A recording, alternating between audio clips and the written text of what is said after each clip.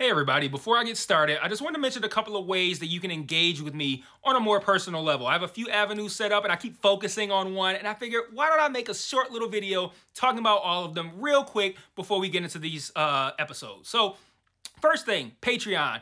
There's a link in the episode description and every episode description to the Patreon, as well as uh, a video on the feed called Major Announcement that has all the details of what each tier offers and how much they cost. I implore you to check that out. I offer a lot of cool shit for my patrons. Uh, second thing, the Discord channel. There's also a Discord link in the episode description and in every episode description.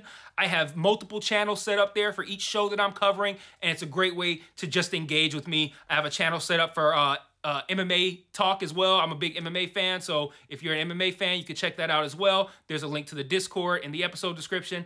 And then lastly, oh, the Facebook and Twitter, social media. Follow me on there.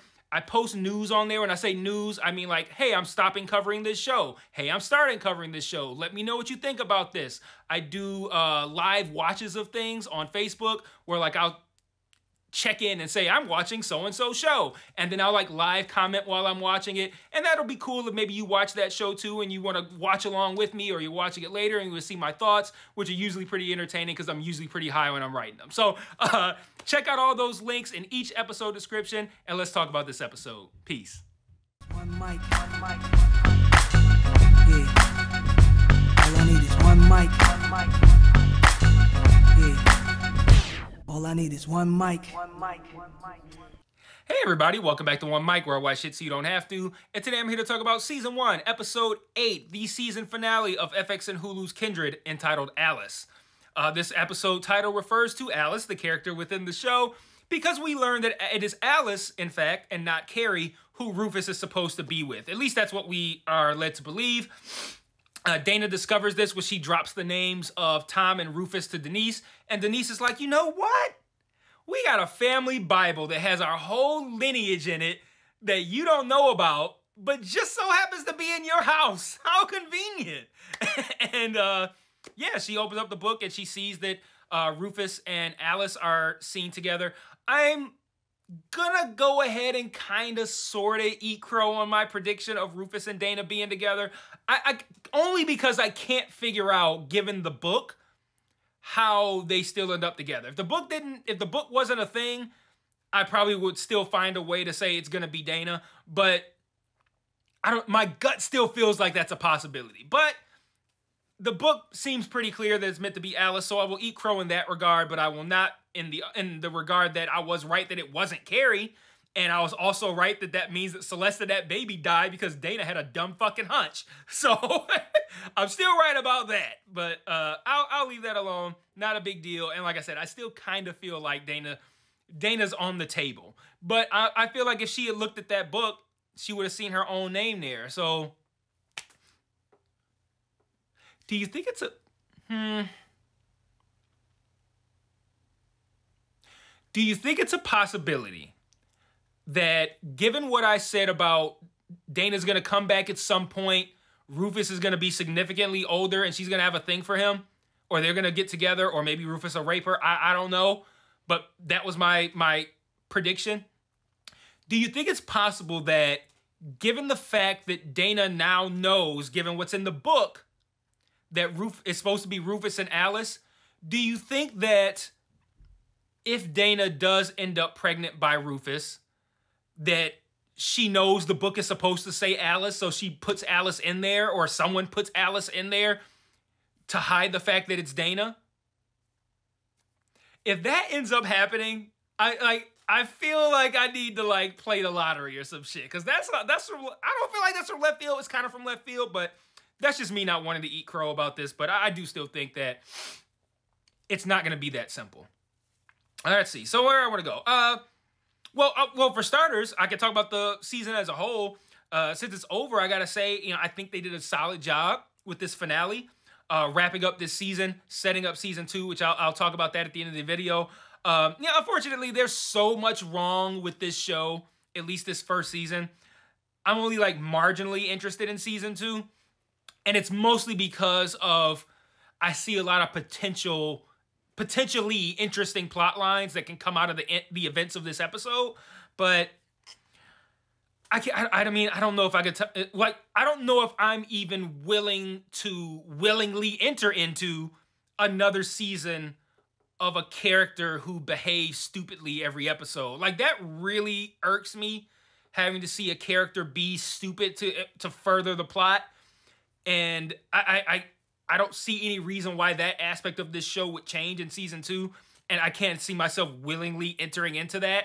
I might as like a kind of like a little spare time, like, oh, let me check this out. I can guarantee you I won't be covering the season two on my channel, but well, I can't guarantee that. If things go well enough, anybody, any any show can get it if if things go well enough. But moving on, we open this episode with a flashback to 1989 Brooklyn. Uh, we see young Olivia talking with her mother-in-law about pregnancy. The mother-in-law says that that baby could save her life, and that line I think really only serves to be a tease for whatever's going to happen with them next season because well I'll, I'll, I'll get to I'll get to the baby saving her life I think. I might not remember to directly reference that line but remember that I'm referring to that line when I get to something that sounds like it's related to that line. I feel like I'm not gonna remember. Um so yeah we we we learn about that in 1989 Brooklyn I think that's something to carry with us going into next season uh what this mother-in-law said about uh, Olivia's child, that being Dana, obviously. Uh, so moving on, I don't know how 1815 is present day, but we return to present day, and uh, Sarah's reiterating to Dana how fucked she is, and that she now belongs to Tom, and she encourages, she being Sarah, encourages Dana to leave that night.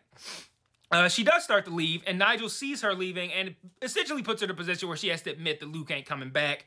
Uh, Nigel wants to go with her. She's like, we ain't gonna talk about it here. We're gonna go talk about it somewhere safe. And I believe they go to like, I think Winnie's cabin was where Sarah said that, uh, uh, what's her name, Dana, where Dana likes to hang.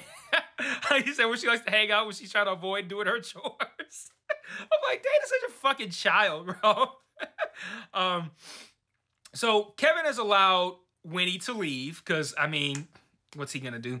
Uh, so he returns to Olivia's crib. He grabs the man clothes that were uh, earmarked for Winnie, and Alice guards the door with a gun, essentially saying no one in, no one out until Olivia gets back. Very mature of uh, Alice. But of course, I feel like how could you have an immature kid in these times where you have to be grown as soon as you come out of the fucking womb? So of course she's grown.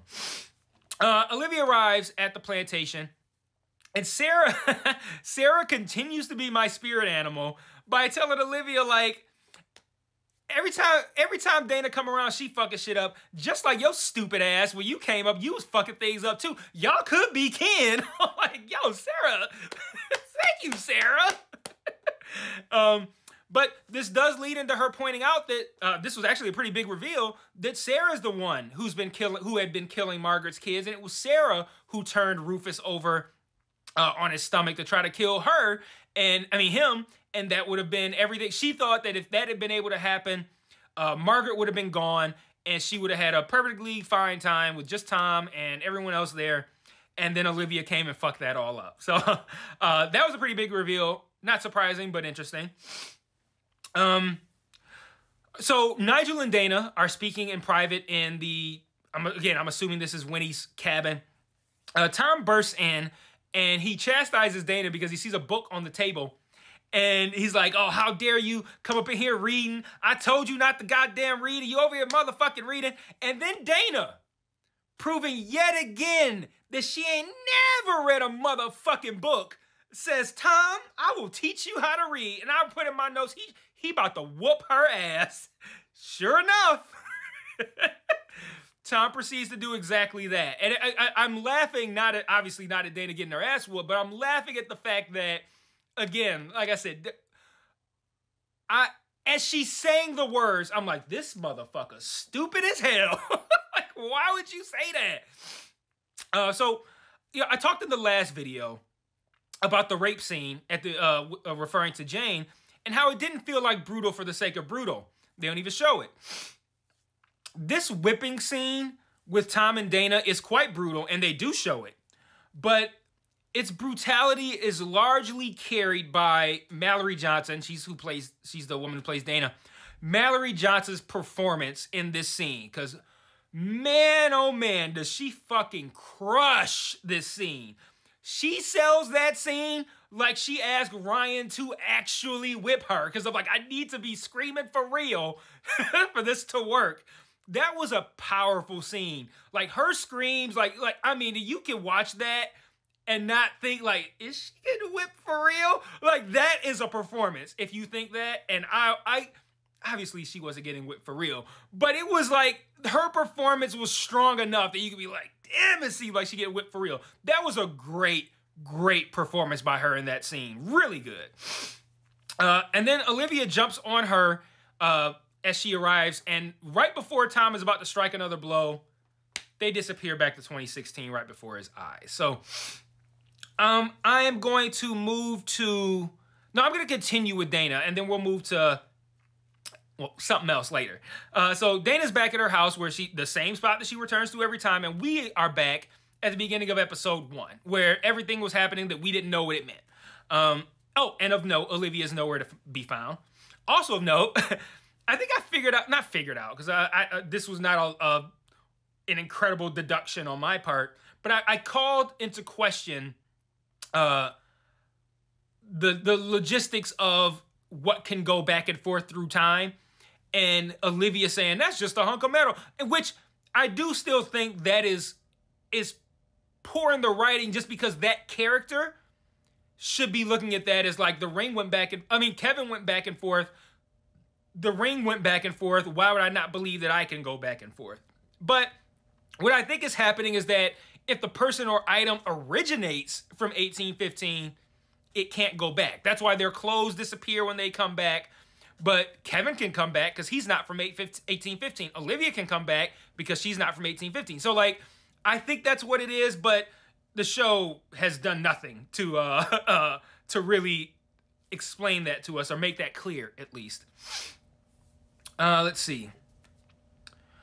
So picking up kind of like where episode one started, we see some of those scenes again, and there's a little bit more clarity to some of them. And I'm going to talk about that uh, right now. Uh, we see Dana charging Kevin's phone. Uh, I think in episode one, I think we all naturally assumed that she was charging her own phone, but it turns out that it's Kevin's phone. Kevin's phone, which she, I don't know how she had it on her. He must have left it. I mean, he probably would have left it on the plantation. She must have snagged it. She tucks it in like the back of her panties, which, side note, where she tucks in the back of her panties and Tom takes her to what ends up being the whipping scene. I thought it was gonna be a rape scene because he tears her uh, her shirt, the back of her shirt open. I'm thinking he's gonna pull her pants down and, and find the phone, and I'm like, oh, what's gonna happen here? But that doesn't end up happening. So she charges Dane, uh, she charges Kevin's phone, and Kevin's sister Penny immediately picks up on this and starts to track it once it's back on. And the second thing that we learn too is that the police who arrived at Dana's house in episode one were called by Penny and not by the nosy ass neighbors, Hermione and I think uh, Carlo uh, is the husband's name. So I want to talk about the clusterfuck that ended up happening in Dana's house in the back half of this episode. And when I say clusterfuck, I don't mean it in, in an insulting way. I just mean like it was literally a clusterfuck. There was all these different entities within Dana's like foyer, and there was a whole lot of shit going on. But I do want to talk about that scene and I don't like implausible shit. If you've been paying attention to any of the previous seven videos, you know that. And I felt like everything that happened from the on the police side of things was pretty implausible. Like Dana had no reason to let them in. They certainly had no right to start making themselves comfortable, walking around, asking questions. Did you just move in? Like making it sound like she was under investigation. You're supposed to be here doing a like a well, I mean, I guess they were there to look for Kevin, but like you should be like que- like questioning like I, if i was them i would just stay in the doorway area and ask whatever questions but like I, again at the same time i guess they are gonna be free and, and take whatever liberty liberties that dana gives them but like i don't know i just felt it implausible that dana would even let them in let alone walk around like that let alone ask those intrusive fucking questions that they were asking but again this show does a poor job of, of the means and what i mean by the means is like this show focuses on the end. You heard the phrase, the, the end justify the means? This show focuses on the ends. And the end here was the goal of that clusterfuck. Everyone being in that room, knowing that Dana's back was fucked up, and having the conversations that they had. And the show said, that's where we need to be. how do we get there? And I talked about that with the writing on Andor. and it was related to this show. It was one of these videos, but I talked about that, like the, the how do we get there kind of deal.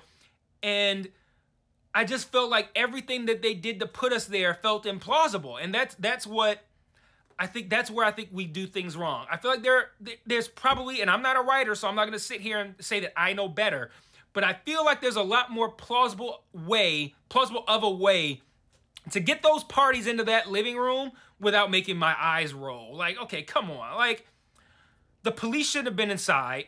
Penny shouldn't have been inside. Like, how'd she just walk in? Like, who the fuck are you? Get the fuck out of here. Like, and then, still in this scene, something that bothered me, Dana doesn't even have the common decency to tell Penny, who is worried sick about Kevin and where he is, I'm not about to say she doesn't tell Kevin where she is. She doesn't even have the common decency to uh, tell Penny that Kevin's not the one who fucked her back up. And after Penny leaves, she starts crying and she tells Denise, like, I, I wanted, I would have told her the truth, but she wouldn't have believed me. Yeah, she wouldn't have believed where Kevin is, but you could have at least told her that he ain't do that. Like, like, it's been like four straight, five straight videos of me pointing out implausible or stupid things that happen in the show. I'm not really gonna harp on that, but like, uh, come on, man. Like, and what does it serve the plot to have Penny not know that? Like, I'm thinking like, okay, let's say Penny's a real person. Penny's at home, or well, we know she's not at home. She's gossiping with Carlo or Hermione now, but she's thinking in her mind, where is my brother? What has happened to him? She knows something. She's not telling me. Did he do that to her? Is he has he been drinking it? Like all of these things. She could have at least alleviated the fear of did my brother get fucked up and beat the shit out of her to the point where her back is black. I mean bleeding. Her back was already black. Her back is bleeding. But she doesn't even say that. She could have at least said he ain't do this to me. Like you don't have to know where he is to know that Kevin didn't do that. So she could say, you know, she got who did? It wasn't Kevin. Don't worry about it. Like so, I don't know. That just that just kind of bothered me.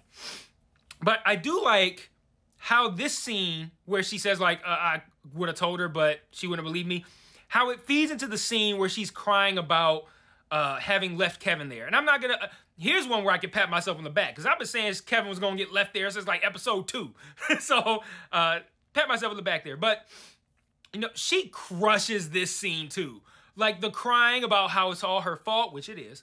Uh, the crying about how it's all her fault, screaming. My favorite part of this whole thing was after she's she's crying, she's going, it's all my fault. I left him. I said I wouldn't. What's he gonna do? I promised him. And Denise goes, it's gonna be okay. And she goes, it's not gonna be okay. Denise, like, I love the fact that that called out a lot of like, it felt like it was a call out of a history of like shitty responses in that situation. Like that's a shitty thing. It's gonna be okay. Like it's not like you could tell from what she's saying if you even kind of believe her how serious this is. And I like how I like the fact that Dana kind of snapped her back into reality and out of these canned responses that not only don't help, they only worsen things. And it, it the fact the way Dana responded is proof that those torp, that the, those types of responses worsen things. So I like the I love that scene because I love Mallori's performance in it, but I also love the fact that she didn't let Dana just I mean Denise go, it's it'll be okay. Like that if, if she hadn't have snapped back, that would have ended up being in my this is a stupid fucking line to utter in this episode uh, uh, lists of criticisms. So I like the fact that Dana called that out. I thought that was another really, really, really strong scene and a great scene for uh, Mallori Johnson. Um, another great scene that follows, uh, Tom bursts into the cabin that Kevin is at, and he asks where Dana is. Once Tom once Tom asked Kevin, it, it's too many fucking names, man. Like I keep having like get the names together in my mind for some reason. Once Tom asked, yes, once Tom asked Kevin how Dana disappeared, Kevin puts together a lot of uncomfortable truths in that moment. Not just that Dana left, not just that he's stuck, but the fact that he could be stuck there for years without an opportunity to go, maybe for the rest of his life. Can you imagine being in that scenario? I mean, already the scenario of going back to slavery times is wild. But can you imagine finding out that way and all of that in that in that moment that you might never go back to 2016. You might just be stuck in on a plantation. Being a white man, that's probably not that bad for him, but that's that's what he was left to contend with, and that fucking sucked, man. Uh, we later see Kevin years later at the end of the episode with an older Alice. Uh, I don't know if he's shopping for slaves or if he's looking for Dana, but I'm going to talk about that a little bit when I talk about what I what I'm looking forward to in season two or what I'm expecting from season two. And then lastly, Alan tells Denise that they found Olivia. So I'm gonna feed this rather than talking on those last two things. I'm gonna kind of like feed that into my season two, uh, kind of like questions, and uh, uh, that'll kind of speak to those those last couple of items. So I'm intrigued by not just how Dana and Kevin's reunion will be, but how much, if in any way, being in these slavery times alone as a white man will change Kevin, or if it changes him at all. Um, and has he been obsessed with finding Dana? Like, was he, like I said, was he looking for Dana, or is he actually has he changed? Has he kind of like taken into his role in a in a role of power in this time? Has he taken to that to the point where like now he's just like, yeah, you know, I own slaves now, it is what it is. Like, is he that? Is he like that? And to you know, I kind of hope he is, because I just think that'll make when Dana returns 10 times more interesting because he's going to be coming back thinking like he's going to be older. She's probably not going to be coming back thinking he's a, now a slave owner. like, so that could make for all sorts of interesting possibilities in their relationship. And I'm really, uh, really interested in, in seeing how that plays out. Like, I know I'm at least watch episode one of season two. If it gets to season two, I wouldn't be surprised if it didn't, if I'm being honest. But uh, they don't specify whether or not Olivia was found alive. And I think that raises some interesting questions because did she return into the car that she left from and then she drowned and they found her body in in whatever body of water uh, she crashed into? Is she alive and is now in or was found in the equivalence uh the equivalent of the spot in the house that Dana always returns to? Like does she have a spot that she always returns to and and did she return there? Uh yeah, and I think it makes that I, I, I did remember. I think it makes that this baby could save your lifeline loom a little bit large over season two. I feel like because we haven't seen Dana save Olivia's life at any moment yet, right? As a matter of fact, we've seen Olivia save Dana's life. We haven't seen Dana save Olivia's life at any point. And if Olivia's dead, then that option is off the table. So I feel like Olivia's alive. They found her alive, and Dana's gonna have to do something to save her. So um, that's all I have for this finale. That's all I have for this season. Let me know what you thought about this season and this episode in the comments. I can promise you I will not be covering season two, but I might watch it. We'll see. Uh, let me know what you thought of this show. Uh, I've been pretty clear with what I thought. Uh, I will see you guys next time, and until then, peace.